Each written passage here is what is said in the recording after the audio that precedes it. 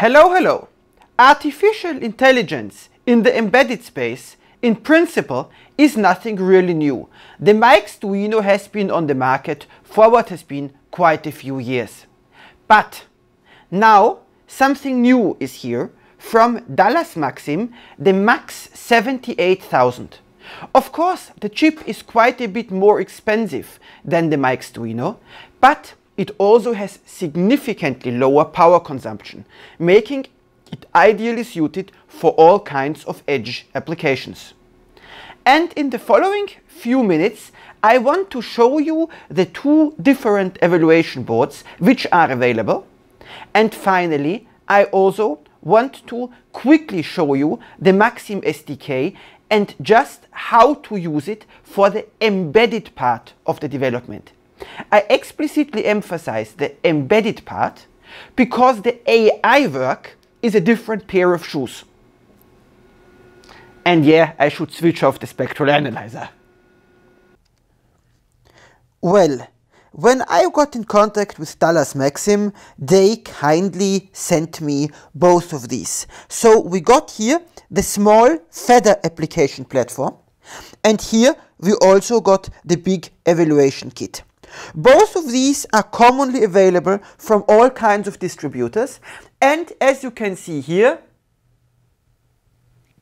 and here they are pretty high margin products, so using a price search comparison engine such as OEM Secrets makes sense because you can save a lot of money, especially on the large board, which is so expensive that it usually ships for free. Either way, let's start with the larger of the two boxes.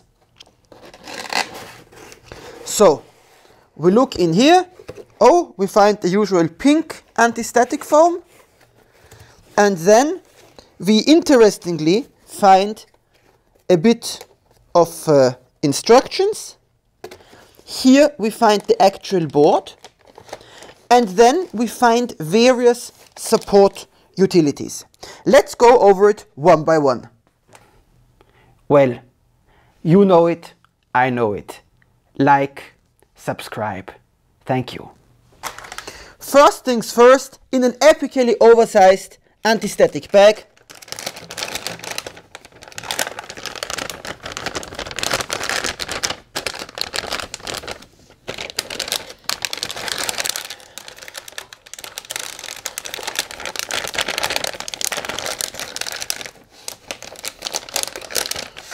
We find the evaluation board and one thing which I really like is, you see, They've included these 3D printed like feet so you can sit the board on your desk.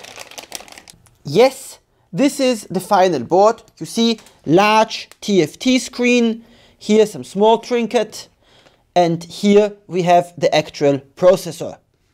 Next up is our boy Olimex with, you see here, their USB OCD trinket and here in the little box we get another Olimex adapter.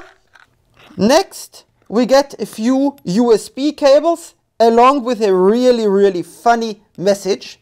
I wonder why the companies don't simply stop sending stuff to California until they refuse to take these stickers off again, but it's a different topic. Then we get this thing, some kind of programming board. Ah, nope. Ah, yes. What is this? This is a little rapid development platform for their smaller ARM microcontroller. And then finally, we get here these all kinds of bits and baubles, as you see here.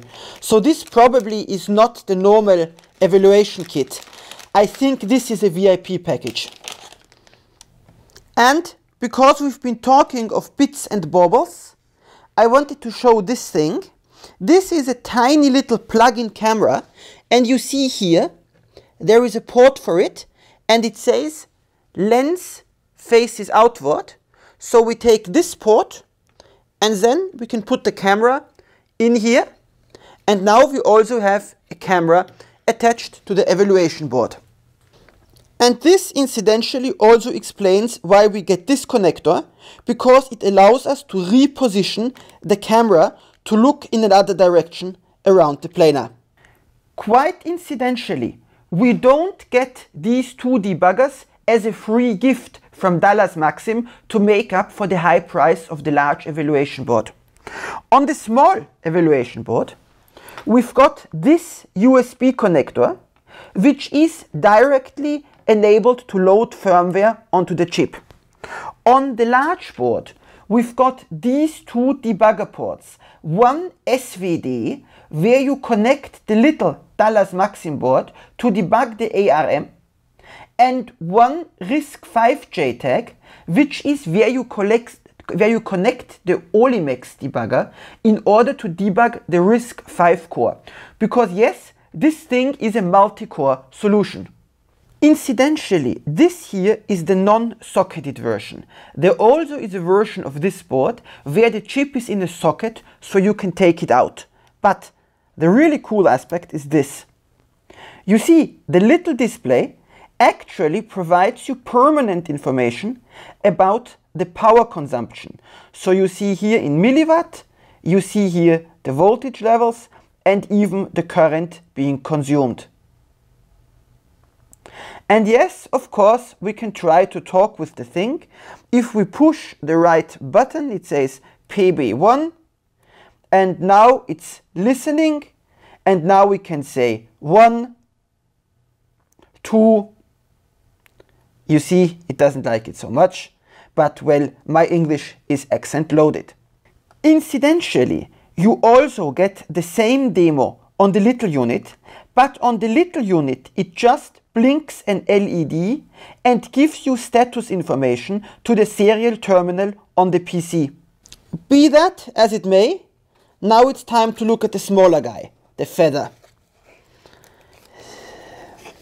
It's a bit difficult to open. Damn it. Oh shit. And you see here, what do we get here? We get one USB cable, two headers, a very nice pinout card, and finally the actual teeny tiny evaluation board. And one thing is very interesting here. You see, this is the evaluation board and the display for it is not included. So the display for this one, it's a separate product and you also need to buy it separately. Before we talk about how to do actual embedded development with the thing, I wanted to show you this little diagram of the ecosystem. You see, we've got two bubbles. First, we've got the AI guy, the data scientist, over there.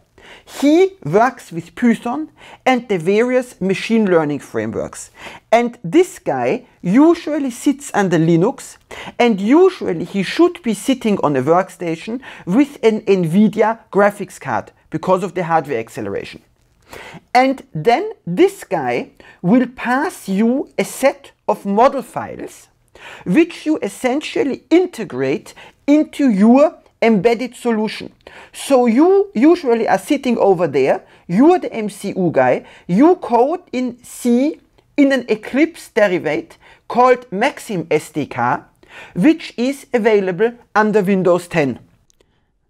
And now that we've got this sorted, we have to look first of all here, the Maxim Micros SDK, this contains the actual development kit for the thing if you want to create embedded software for it. The AI toolchain runs under Linux, it is a completely different animal, but here I only want to look at the actual embedded kit. And when you download and install it, you see here, you get Maxim SDK. And what's very important here, examples. And here we've got all the actual program examples. And what is especially interesting is here you see a folder CNN. And this is where you have the actual AI examples inside. So,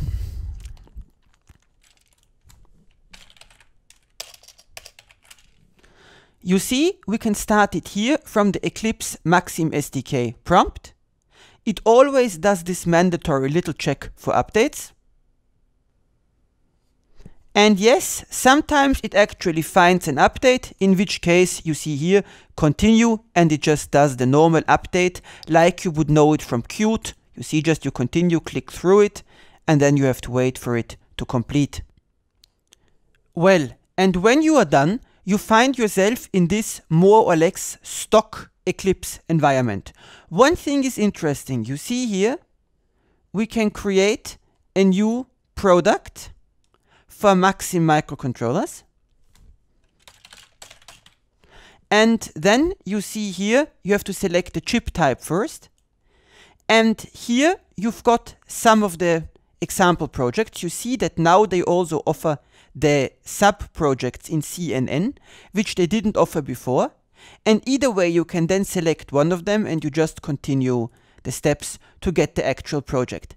And one thing is interesting. You see here, for example, with cats, dogs and cats, dogs demo, you often get two different examples. And one of the examples works on static data, whereas the other one works with dynamic information. And the really nice one here is the KVS20 demo, because that creates the little voice recognition demo which you get on the board immediately after you unpack it for the first time. And yeah, in principle, yes, the IDE always throws a lot of these linter errors, but you can do nothing about them. But in principle, this is very much a stock development IDE, you see here you've got your entry point, void main, blah, blah, blah. You configure the clock and all the stuff. And then the interesting aspect mainly is here. You see, this is the work loop. In the first step, you need to load some data into the CNN engine. And then basically you just keep feeding it with information in the loop. And one thing is interesting because you see here the actual neuro neurological network information. Most of it is in these files, and you see it says here you should not edit them because these are created by your data scientist or your AI guy, and he uses the Ubuntu Python SDK to provide you with these files. And as said, it looks a bit weird at first, but in principle it's just normal embedded C. And if you've worked on SGS Thomson or on Giga device before, there really is nothing to get excited about here. So, to cut a long story short, the Maxim Max 78000 definitely is not the cheapest microcontroller solution on the market. But it doesn't have to be. If you need a system to run neural networks and this kind of stuff on an embedded edge device with minimal power consumption, this definitely is a chip which you might be interested in using. And yes, this small guy, for a small series, maybe it is cheaper to just use him as a plugin of sorts.